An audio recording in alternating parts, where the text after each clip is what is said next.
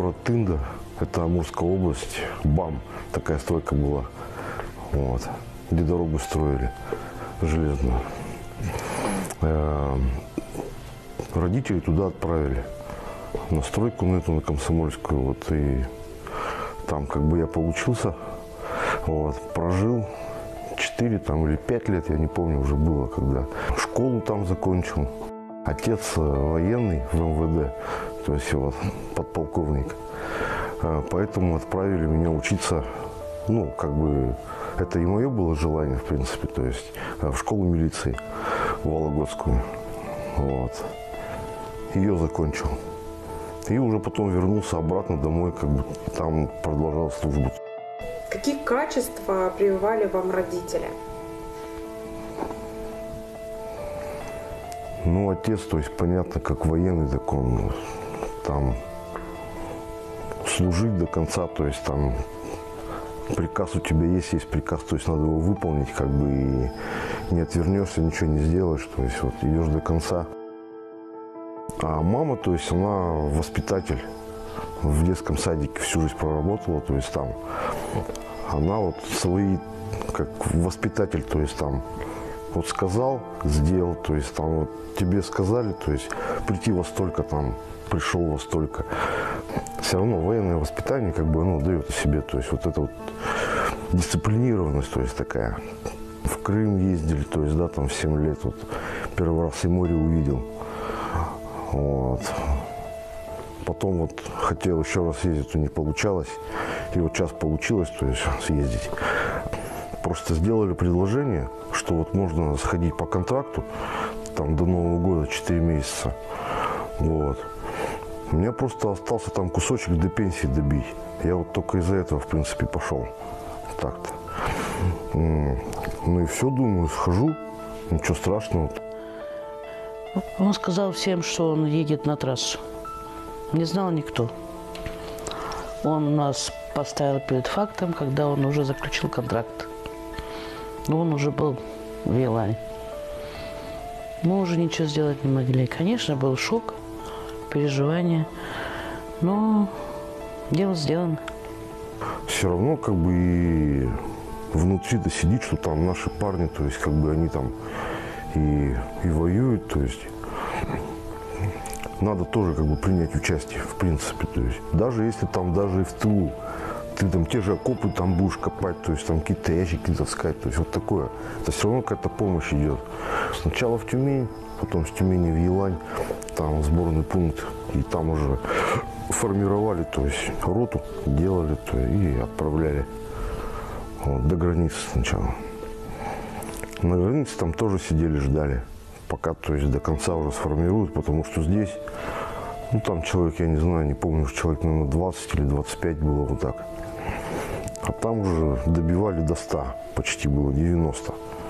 То есть, ну, как положено, то есть по армейским там у них.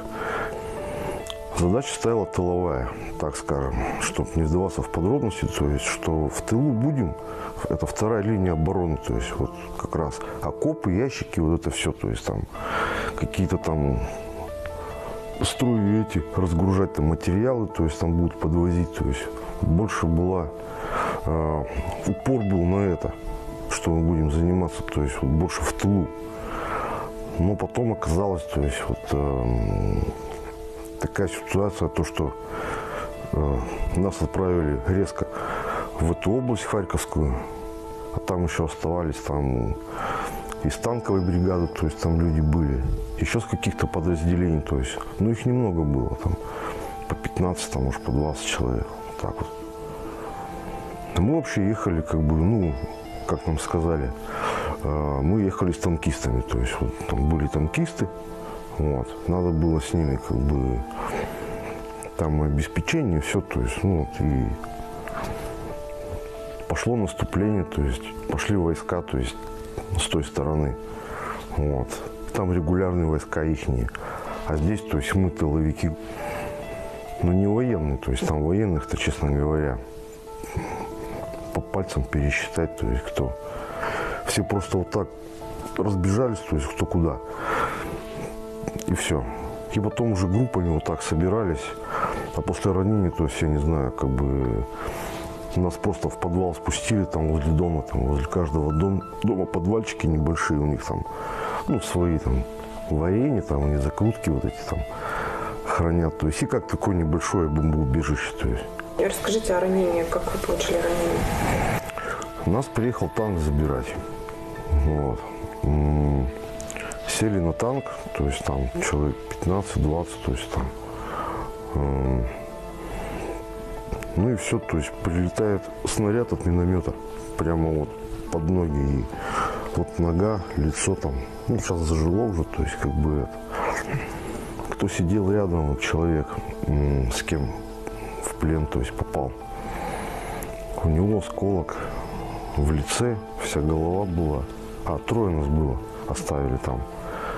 Третий, третьему ноги перебило. Остальные как бы вот еще не успели залезть на сам танк, то есть. Которые были тяжелые люди, то есть. Ну, тоже там как могли перематывали, то есть там ноги, вот так вот, там руки, там у кого такие уж прямо, не знаю, там, ну, у кого еще оторвано, то есть там у многих была истерика, что начинали бегать просто там, в- стрелять в воздух. Вот. Он не знает, то есть, что делать, куда, то есть, вот. А тут надо просто собраться было и как бы уже планомерно, то есть. У нас, в принципе, и в школе милицию учили, то есть, как бы в таких ситуациях, то есть, надо поступать, то есть, ну, и так наслышан, которые вот в Чечне были, которые от нас ездили, то есть, там, в командировке. То есть, говорит, если уж попали, то есть, в такую ситуацию, надо быстрее пытаться выйти. Потому что будет зачистка когда, то есть, вы уже оттуда живые точно не вылезете. То есть, там идут буквально там лесополоса. Вот дерево мы здесь пересидели там под дождем. Начали выходить уже, тут только начало светать, и они тут вот с кустов прямо раз в голову, то есть, а тут уже никуда не денешься. Не били, ничего, то есть нормальное отношение было. Ну, регулярных войск, то есть, которые вот нас в плен взяли. Они катали там недалеко везде, вот по области, а, по Харьковской. Потом отдали правому сектору. Ну, там уже с теми был не то, что разговор, то есть они с нами разговаривали по-другому, то есть они ничего не спрашивали, они просто, то есть, ну, били, да и все, то есть там, ну и там, смеялись, весело им было. Вот. Вот эта неизвестность, то есть ты не знаешь, ты весь замотанный, то есть в скотче, то есть они могут просто подойти тебе в затылок, выстрелить, то есть и, может быть, просто катают.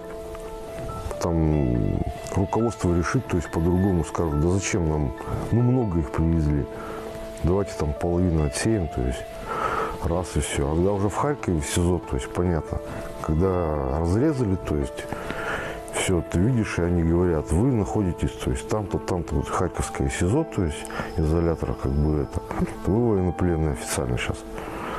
Все, тогда уже как бы ты просто выдохнул, то есть и все, что. Ну, уже в тюрьме, то есть тебя уже здесь точно не убьют. А там уже поехали с Харькова в Киев поехали. С Киева повезли уже вот подо Львов, в этот лагерь. Вот. И там уже сидели. А там уже на обмен, то есть там была конечная точка, то есть откуда меняют. Ну, многих ну, держали в СИЗО, потому что там лагерь-то сам по себе, он как бы небольшой. Он там рассчитан на 300 человек. Вот, всего лишь. То есть у вас там было 300 человек? Не, у нас меньше было, там 150, наверное, вот так вот. Там, получается, как бы сами себе готовили, но там по сравнению вот с этими изоляторами, понятно, то есть тут кормили вообще, ну, если там взять и здесь, разница большая в плане рациона. Тут одна картошка была, и вот такой там кусочек, какой-нибудь рыбки там положат, то есть вот, и все, одна картошка. Ну, картошка, понятно, там прошлогодняя, там какая там полугнилая, то все, то есть. Вот. Ну, три раза.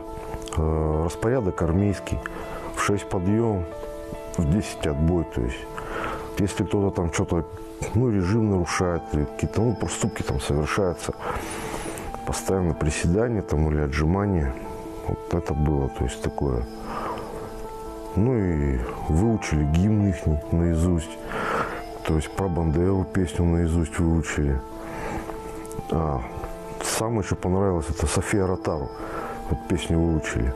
Я говорю, а что прям так вот? Ну это же, типа наша она. Поэтому учите ее. Червоную руту эту. Там постоянно приезжали всякие репортеры, то есть там, ну, иностранцы в основном. Наших тут там, ну, не было там.